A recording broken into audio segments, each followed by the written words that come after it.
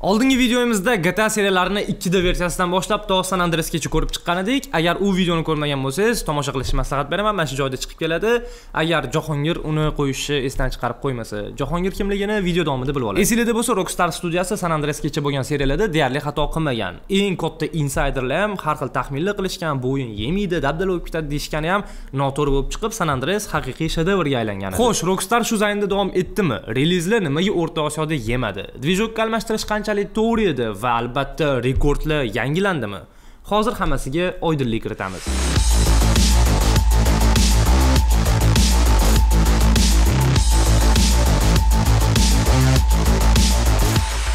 San Andreas'ni relizi bilan birga 2004-26 oktyabrda seriyaning Game Boy Advance qurilmalari uchun Grand Theft Auto Advance o'yini relizi ham bo'lib o'tadi. Advance bizga 90-yillar oxiridagi GTA ni eslatadi. Ikkita formatda faqat GBA da o'ynay olardingiz o'shanda. GBA bu o'sha Game Boy Advance. U San Andreasga bonus sifatida chiqqan. Asosiy ishni Rockstarga tegishli Digital Eclipse studiyasi bajaradi. Eclipse jamoasini Advance'dan oldin GTA ning ikkita formatdagi seriyalarida katta hissasi borligini Rockstarchilar aytib o'tishgan. Advance'da voqealar bizga GTA 3 dan tanish bo'lgan Liberty Cityda bo'ladi.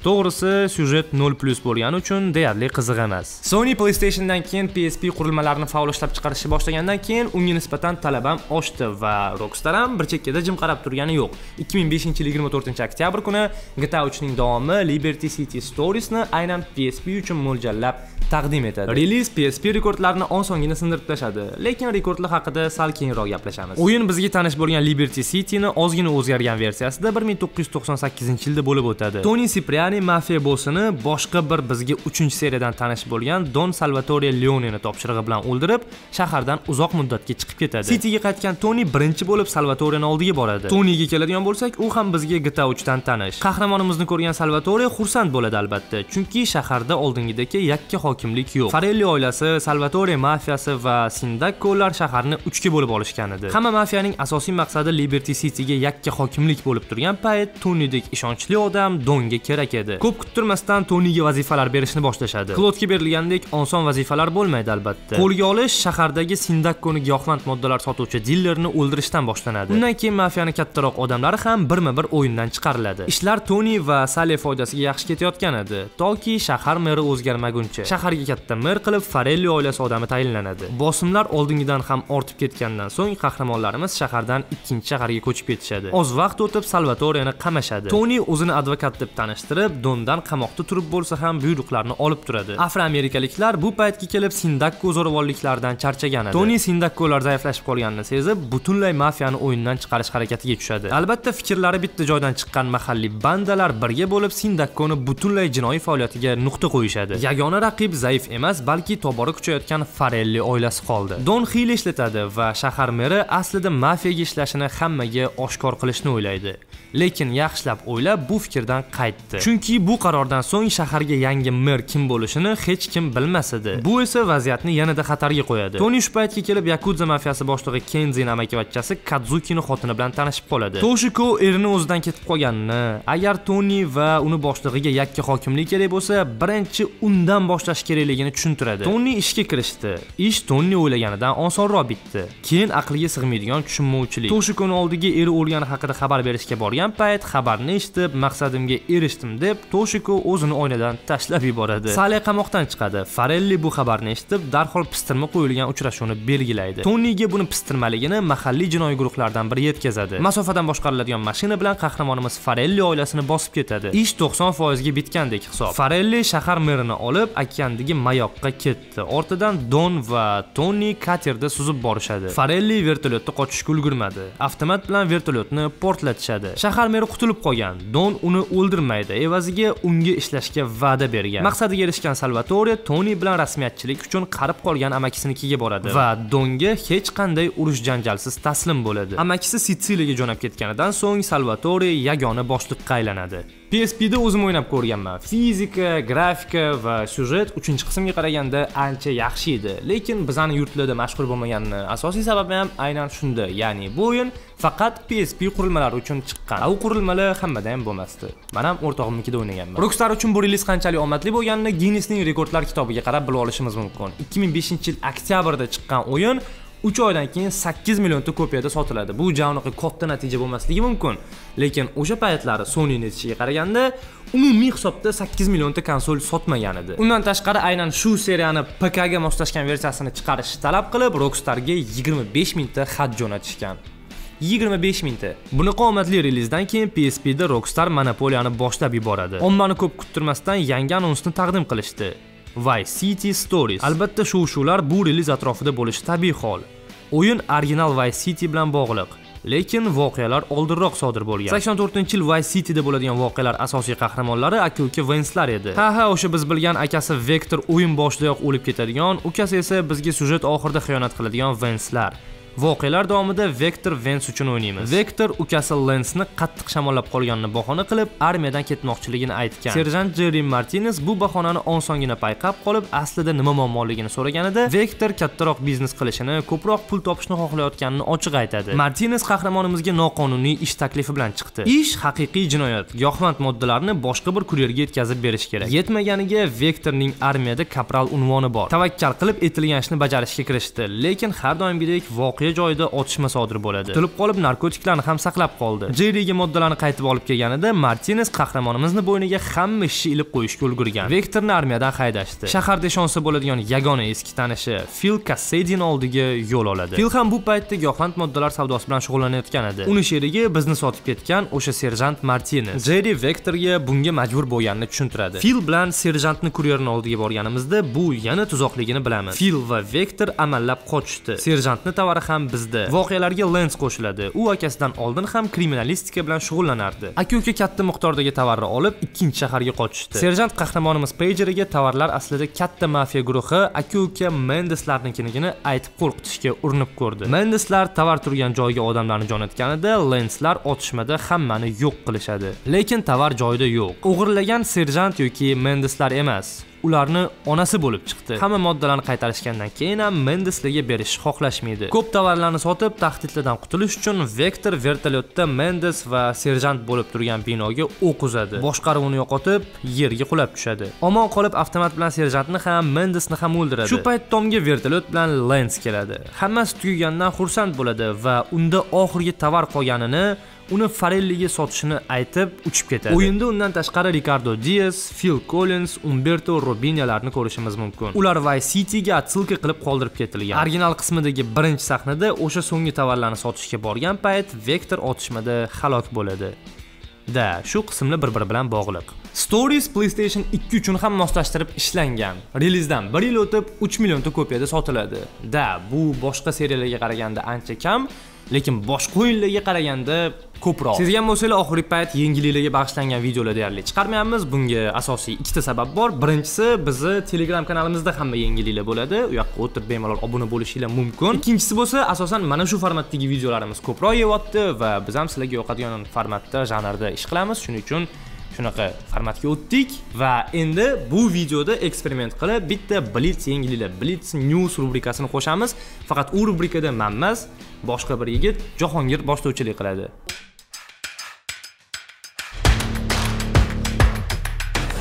Ismim jahongir. Sizlar bilan hafta davomida bo'lib o'tgan yangiliklar haqida gaplashamiz. Haftaning eng qiziq yangiligi yaqinda yakuniga yetgan pjl major turnirida ikkinchi o'rinni olgan natus winser jamoasi ya'ni navi jamoasini kapitani bumich jamoani tark etyapti. Jamoani tark etishiga asosiy sabab qilib ukraina va rossiya o'rtasidagi mojaroni keltirishyapti lekin mani o'ylashim bo'yicha bu asosiy sabab emas. Chunki jamoaga yosh va iqtidorli valeriya bit kelganidan keyin perfecto elektronik hatto bumichga ham ish qolmadi. Bu mani shaxsiy fikrim albatta. 2003 yilda ukrainada tug'ilgan valeriy bit jamoaga 2021 yilda kelib qo'shilgandi. Kelayotgan kuzgi pjl major turnirida jamoada kim kapitan bo'ladi? Bunga ko'p variantlar bor lekin asosiy variant qilib hozirda erkin agent bo'lgan yekindirni aytishmoqda. Hammasini vaqt ko'rsatadi. Kuzgi pjl major musobaqasi braziliyaning rio de janeyro shahrida bo'lib o'tadigan bo'ldi. Shltv org sayti bu haqda o'z twitter sahifasida xabar bergan tiktokda virusga aylangan hamma qo'ysa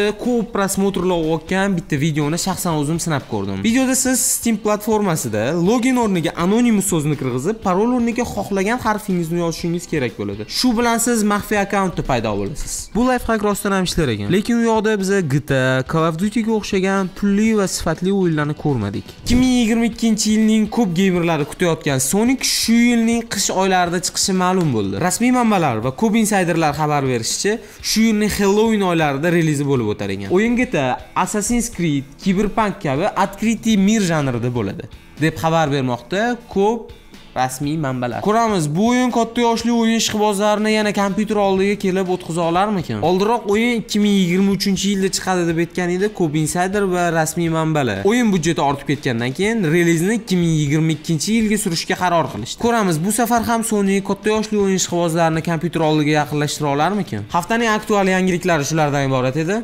Bizani kuzatishda davom eting Va nihoyat GTA evolyutsiyasida katta yangilik. Eskirgan dvijoklar davri ortda qoldi deb o'zligini o'zligi heyt qilib qo'yishadi va 2008-yil aprelida Grand Theft Auto Tour'ni taqdim qilishadi. To'g'risi, birinchi o'ynagan odam bu 2008-yil o'yini ekanligiga ishonmaydi. Fizikasi bir jihatdan 5-qismdan ham yaxshiroq. Bunga sal turib to'xtalamiz. O'yin syujeti Liberty Cityda sodir bo'ladi, lekin biz bilgan emas, balki endigi versiyasi yana ham ko'proq Nyu-Yorkka o'xshaydi. GTA trilogiyasi 4-qismga kelib yakunlanadi. Bu qismga kelib tanish qahramonlarni umuman uchratmaymiz. Yugoslaviyalik Niko Bellik akasi bilan urushda edi. Pistirmada akasi va 15 kishilik otryaddan 12 ta odam omon qoladi. Bu uyushtirilganligini bilgan Niko qolgan ikkita tirik odamni izlaganida ular sotqin bo'lib chiqadi. Florian Kravich va Dark Brivich bu pistirmada dushman uchun sotilganini biladi. Urushdan keyin Bellik ish topolmadi, majbur Yevropada jinoiy ishlarga qo'l uradi. Ishlari fosh bo'lib ozgina o'tirib chiqqandan so'ng unga Rey Balgarin ismli odam ish taklif qiladi. U ham qonunga xilof vazifa edi. Rey javobgarlikni bo'yniga oladi. Niko o'gay akasi Roman Liberty Cityga jo'nab ketgani, broker bo'lib ishlab shaharda katta kvartira olgani haqidagi mishmishlarni eshitadi. Qahramonimiz topgan puliga Amerikaga kemadan bilet olib, yangi hayot uchun suzib ketadi. Yetib borgan Nikoni hafsalasi pir bo'ladi, chunki Roman shaharda hech qanday broker emas edi. Unda kvartira ham yo'q. Yetmaganiga uni rus mafiyasida ham qarzi bor edi. Yomg'irdan qochib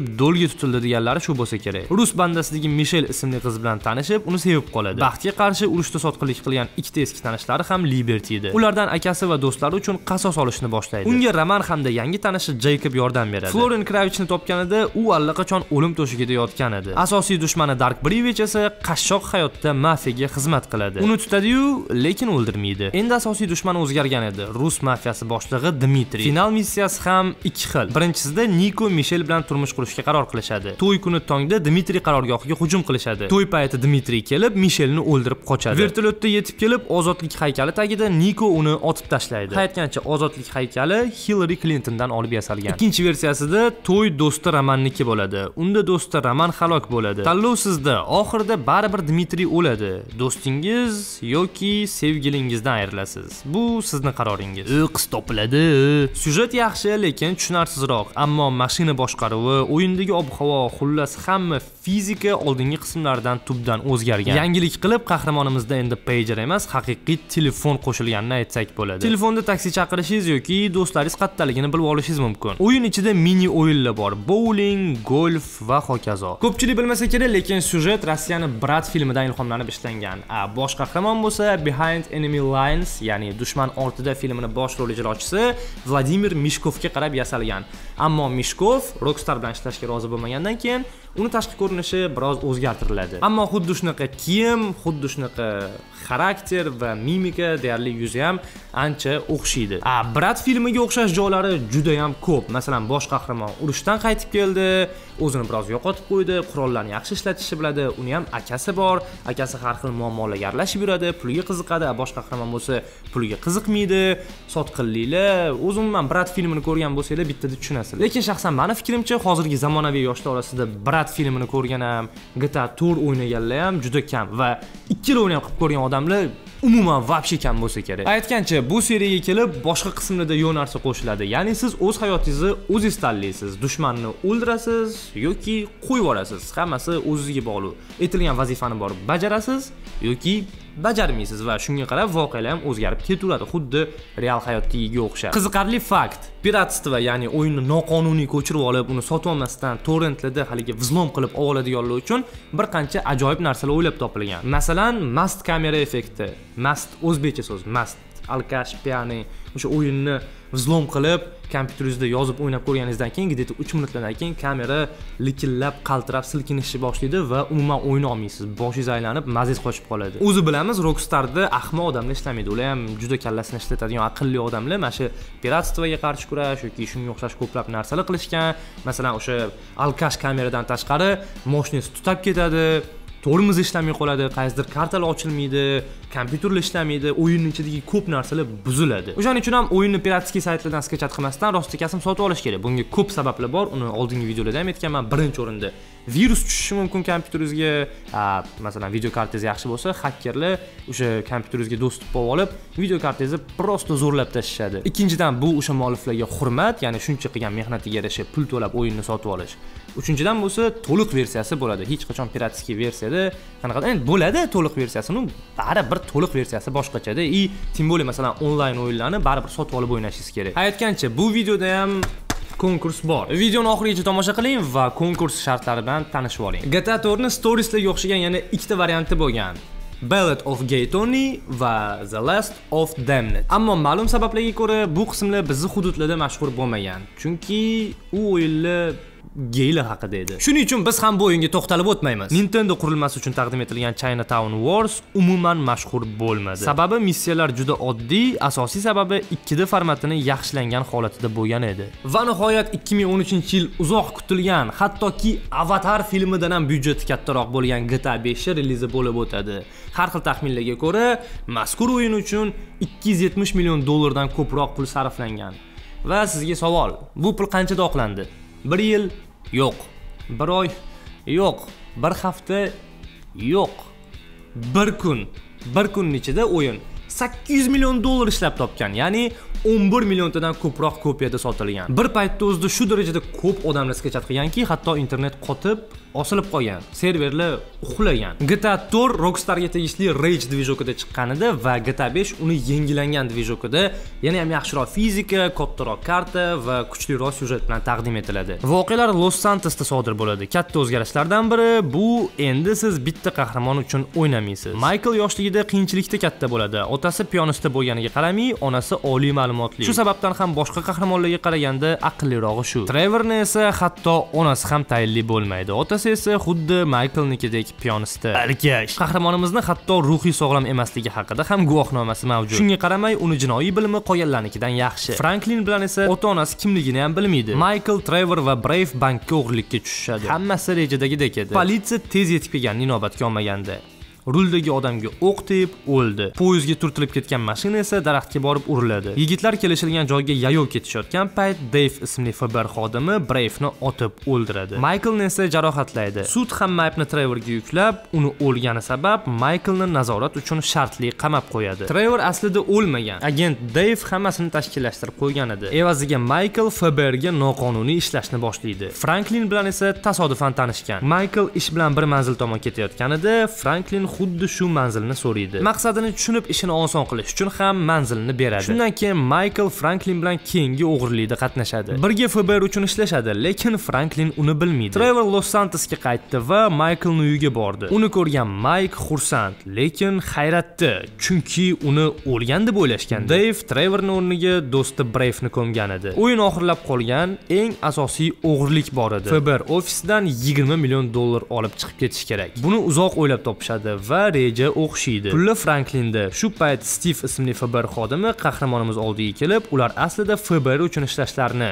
do'stlaridan birini o'ldirishni ikkinchisini esa o'zligi hal qilishligini aytadi. Shu joyda sizda tanlov bor. Siz do'stlaringizdan birini o'ldirasiz yoki stivni o'zini. Ikkala yo'lni ham tanlasangiz bo'ladi. Shu bilan o'yin baribir tugaydi. Shaxsan man stivni o'zini o'ldirish versiyasini tanlaganman. O'ldirib uni mashina bagajiga solib qoyadan itarib yuboradi. Maykl yana bir ish taklif qilganda yigitlar uni rad qilishgandan so'ng o'yin tugaydi manga oxirgi gitalida eng ko'p yoqadigan narsalar albatta bu mashina va ularni fizika boshqaruvlari. Haqiqatdan ham juda dahshat juda ham aniq ishlangan. Ko'pchilikni fikricha aynan to'rtinchi qismidagi fizika yaxshiroq такой живойroq dinamichniroq deyishadi lekin shaxsan mani fikrimcha baribir beshinchi qismi eng zo'ri. Nimaga? Chunki u yoqda haqiqatga yaqinlashtirilgan mashinalarni buzilib ketishi uchib ketishi yana ham og'irligi hammasi haqiqatga yaqin. Ko'rsangiz rosti kasim mashinani haydagandek bo'lasiz. Ayniqsa uni playstationni joystikida o'ynasangiz umuman boshqacha ощущение bo'ladi. Masalan klaviatura faqat bosilsa joystikni haligi darajasi ham bo'ladiyu qayrish va uni ko'proq burish sekinroq burish. Aynan shunisida uncha muncha o'yinlar hattoki need for speeddan ham ancha yaxshi. Endi poyga bilan gtani solishtirish ahmoqlik deyishingiz mumkinu no lekin haqiqatdan ham mashinalarni boshqaruvi juda yam zo'r. Agar man adashayotgan bo'lsam kommentlarda yozinglar balki sizlar uchun qaysidir need for speedni qaysidir qismidagi boshqaruv yaxshiroqdir. Ну man baribir gta beshni именно moshinalarga kayf qilaman. Lekin achinarli tomoni shundaki man o'z auditoriyamga shu moshinani boshqaruvi qanaqa ishlab chiqarilgani nimalar haqida ma'lumot qidirdim cho'ta topolmadim. Topganlarim ham qanaqadir haqiqatmi haqiqat emasmi rasmiy istochniklarda deyarli yo'q. Man shu narsalar bilan bo'lishmoqchi edim topolmadim balki yaxshi qidirmagandirman. Ну xudo xohlasa keyingi safar bu narsa haqida balki alohida выпуск qilarmiz. Gta beshdagi missiyalardan ham ko'ra ko'proq просто o'ynash maza yo missiya syujet zo'r o'ylab topilgan lekin masalan rejissorskaya versiyasi bor chitlar terish bor chit terib avtomatni olib uchib yonadigan haligi hammasi dahshat ishlangan va agar siz rasmiy relizni ya'ni o'yinni sotib olib onlaynda o'ynasangiz ertalabdan kechgacha boshingizni ko'tarmasdan maza qilishingiz mumkin. Byudjet bitta kvartalni o'zida o'zini oqlab foydaga kirib уже har bitta mualliflarni milliarder qilib yuborib bo'lgan va shundan keyin rockstar ham xuddi bir yuz o'n bir dots kompaniyasini yo'lini tutadi. Ya'ni har ikki uch yilda chiqayotgan o'yin просто to'xtaydi hech qanaqa обновление ham chiqmay qoladi mana o'sha ikki ming o'n uchinchi yildan beri deyarli hech nima chiqqani yo'q bitta yemagan remaster bor kstati remaster haqida gap ochilgan ekan bizda yana bir qancha kadrlar bor ularni ko'rgan bo'lsanglar kerak ko'rmagan bo'lsanglar mana ko'rsatamiz ya'ni butun boshli rockstar kompaniyasi qilolmagan ishni qanaqadir oddiy moderlar qilgan va remasterni rostikasim yorib yuborgan shu joyda hammada savol tug'ilishi mumkin nimaga rockstar shu ishni qilmaydi shunaqa darajada deb mani fikrimcha bu yoqda boshqa narsa bor ya'ni moderlar butun o'yinni remaster qilmaganda просто o'sha unreal engineni ko'rsatish uchun haligi tresировка лучей soyalar nur svet hammasini ko'rsatish uchun aynan qaysidir joylarni remaster qilgan yoki просто grafikani remaster qilib youtubega qo'ygan. Chunki agar shu darajada zo'r chiqarsa nimaga? Torrentlarga chiqmadi u o'yin. Da mualliflik huquqlari bor. Ну bilmadim. Masalan shunga o'xshash boshqacha holat valveda kuzatilgan edi bilsanglar counter strike o'yini o'zi aslida valve tomonidan ishlab chiqarilmagan. Xuddi o'sha modderlar aynan half life bitta modini olib qilishgandan keyin valve ularni o'ziga chaqirib olgan. O'shandan keyin ks bir olti zero counter strike там global offensivelar chiqib ketgan. Xuddi shu narsani ko'rib turgan rockstar o'sha modderlarni o'ziga chaqirib zo'r o'yin ishlab chiqarsa bo'lardi значит bu yoqda ikkita variant bor. Yo rockstar ochko'z va juda ham dangasa kompaniya. Yoki u modderlar faqat aynan o'sha joyi o'zini mod qilgan aslida unaqa zo'r qanaqadir mutaxassis emas oltinchi qism haqida ham bitta ikkita insaytlar bor. Ularni oldingi videolarda ham aytib o'tib ketgan edim. Nu mabodo ko'rmagan bo'lsanglar yana eslatib o'taman. Har xil taxminlarga ko'ra oltinchi qism vice city ya'ni Miami bichda bo'ladi. So'kmadim. Karta oldingi o'yinlardan ham ancha katta bo'ladi deyishyapti va har xil taxminlarga ko'ra bu game industriya tarixidagi eng katta ochiq olamli karta bo'ladi. Bir nechta shaharlar bo'ladi. Shahardan shaharga samolyotda uchib o'tasiz degan fikrlar bor edi va yana bitta qiziqarli tomoni oldingi personajlar umuman bo'lmasligi mumkin. Ya'ni umuman yangi davr yangi personajlar hech qanaqa tommi ham hech qanaqa cj ham trevor ham hech kim bo'lmaydi. Yana bitta qiziqarli narsa borki rockstar kompaniyasida vaqt mashinasi bor degan odamlar taxmin qilish qilishadi ya'ni o'sha ikki ming o'n uchinchi yilgi chiqqan o'yinda hozirgi paytdagi ko'p narsalar oldindan aytib o'tilgan ko'rsatib o'tilgan. И o'zi umuman ikki ming o'n uchinchi yilgi to'g'ri kelmaydigan darajada zo'r grafikka chiqqan. O'shaning uchun ham gta olti undan ham zo'r bo'lishi kerak va manimcha o'tgan safar bir kunda sakkiz million sakkiz million dollarga sotilgan bo'lsa bu safar bir soatda shunaqa bo'lib ketishi mumkin. Ну yog'ini vaqt ko'rsatadi. O'sha boya aytganimda rockstar tomonidan ishlab chiqilgan rage dvijoki gta beshni eng zo'r o'yinlardan biri qilgan. Detalizatsiya yorug'lik grafika mashina boshqaruvi otishma va albatta jang sahnalari. Va har doimgidek minglab ko'ngilochar ishlar bor. Boks tushish poygada qatnashish rejissyorskaya versiya. Parashyutdan sakrash mini o'yinlar o'ynash moshinani tuning qilish kiyinish xullas million xil variant. Undan tashqari beshinchi qismni rp versiyasi ham anchagina mashhur. U yerda haqiqiy hayotdagidek yashaysiz. Rp bu rolling play ya'ni rol o'ynash degani. Ba'zi bir insonlar bu narsaga shunchalik qiziqib ketishganki hatto ertalabdan kechgacha o'ynab o'sha yerda hayot kechirishadi. Pul topishadi buyumlarni sotishadi va yangilarini sotib olishadi. Agar siz ham rolling play o'ynagan bo'lsangiz izohlarda yozib qoldiring. Asosan nima ish qilgansiz nimalar sotgansiz qaysi kasb egasi bo'lgansiz? Albatta qiziq. Xo'sh video sizlarga yoqdi degan umiddamiz. Qo'ldan kelgancha harakat qildik va o'sha boya aytganimdek Э, alohida har bitta aspektlari haqida alohida video qilamiz. Moshina boshqaruvi avtomat shahar ko'rinishlari kartalar haqida yana alohida videolar ham bo'ladi va albatta konkurs. Birinchi o'rinda bizni youtube kanalimiz va realmeni instagramdagi akkauntiga ham obuna bo'lgan bo'lishingiz kerak. Videoga layk bosish haqida so'rab o'tirmayman baribir bosasizlar. Va albatta chiroyli izoh yozishingiz kerak. Izoh nima haqida bo'ladi? Man oxirgi payt o'ylab qoldim gta faqat amerika haqida amerikadagi bandalar amerikadagi temalar haqida bo'ladi. E, agar o'zbekiston haqida bo'lganda qanaqa bo'lardi? Bosh qahramonni ismi nima bo'lgan bo'lardi? Uni kasbi yoshi va albatta qayerda yashashi. Shaxsan mani fikrimcha chilonzorlik bo'lgan bo'lardi. Chunki chilonzor bizada такой gettayu такой kriminal. Siz bo'lsa o'z variantlaringizni izohda yozib qoldiring. Liza on air saytida tasodifiy tanlash yo'li bilan g'olibni aniqlaymiz. Ya'ni qanaqa yozsangiz ham shunchaki tasodifan. Va agar bu konkursda yuta olmasangiz baribir keyingisida ham sovg'alar bo'ladi. Bu kiberuz loyihasi edi. Sog' bo'ling salomat bo'ling ehtiyot bo'ling. Albert ketdik.